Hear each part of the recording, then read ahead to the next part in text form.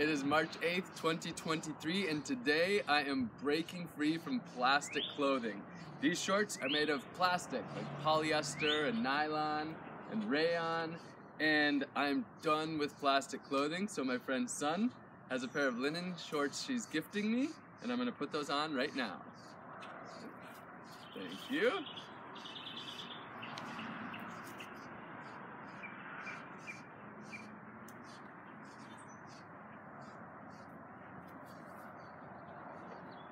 Okay. So that is the end of plastic clothing for the rest of my life.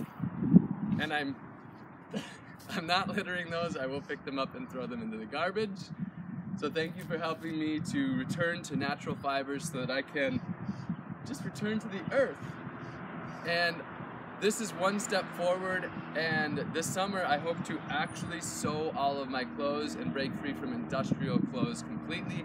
Thank you for helping me on this uh, mission of breaking free. Yay!